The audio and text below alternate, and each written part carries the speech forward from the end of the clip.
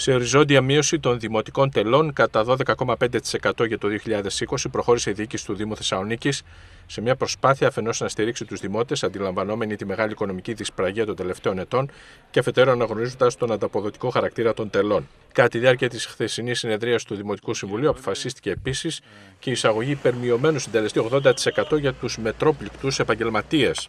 Περήφανα, η νέα διοίκηση του Δήμου Θεσσαλονίκης μειώνει τα δημοτικά τέλη σε νοικοκυριά και επιχειρήσεις για το 2020 12,5%.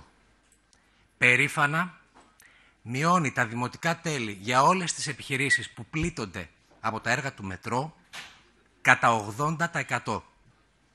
Και πολύ περήφανα συνεχίζει να διατηρεί τις μειώσεις στα δημοτικά τέλη σε όλες τις κατηγορίες συμπολιτών μας που πραγματικά αντιμετωπίζουν σοβαρά προβλήματα.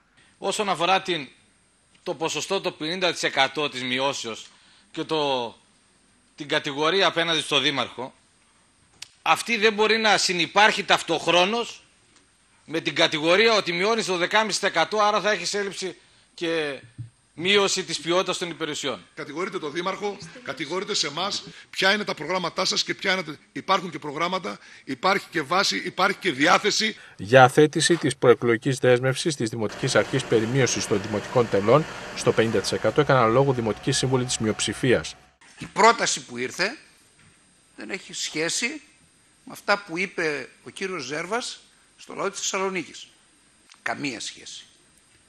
Είναι συνειδητή εξαπάτηση.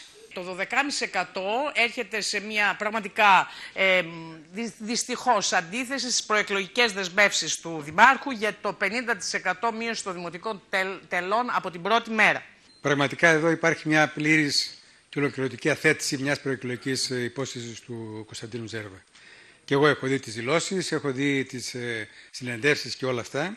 Η δική μας άποψη είναι ότι αυτά τα τέλη τα οποία επιβάλλουν οι Δήμοι οφείλουν να καταργηθούν. Τέλη που τα επιβάλλουν από το 1958 μεν, έχουν αυξηθεί κατά πολύ δε, όσο πέφτει η κρατική ε, χρηματοδότηση των Δήμων, αλλά είναι χρήματα τα οποία δεν υπάρχει παραμικρή ανάγκη να τα επιβάλλει μια τοπική αρχή. Μόνο θετικά μπορώ να δω και την ε, πρόταση της ε, διοίκησης του Δήμου για την έστω και κατά απόκληση, σημαντική απόκληση των προεκλογικών της υποσχέσεων, μείωση ε, των δημοτικών τελών. Στην κριτική της αντιπολίτευσης απάντησε ο Δήμαρχος Θεσσαλονίκης Κωνσταντίνος Ζέρβας.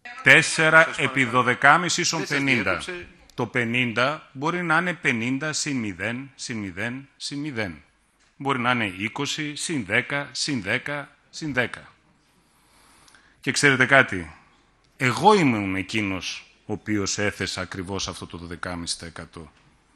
Ακριβώς γιατί ενώ υπήρχε αυτό το αποθεματικό, για να δούμε αυτά τα ανακλαστικά των υπηρεσιών. Ξεχωριστή πρόταση για το θέμα της μείωσης των δημοτικών τελών κατέθεσε η Δημοτική Παράταξη Πόλη Ανάποδα Δύναμη Ανατροπής. Να υπάρξει μεγάλη μείωση σε ειδικές κατηγορίες, 75% στους πολυτέκνους, όπως αναφέρθηκε και πριν ότι πρέπει να στηριχτούν από τον Δήμο, 50% στους τρίτεκνους, να υπάρξει μείωση σε αναπήρους, ε, στους απόρους και μείωση μεγάλη 75% στα ακίνητα που διαμένουν άνεργοι. Η απόφαση του Δημοτικού Συμβουλίου ορίζει ακόμη ότι μειωμένα κατά 50% θα είναι τα δημοτικά τέλη σε κατηγορίες δημοτών που αφορούν τους άπορους, τους πολίτεκνους, τους τρίτεκνους και τις μονογονιακές οικογένειες, τους τυφλούς και τα άτομα με ποσοστό αναπηρίας άνω του 67%.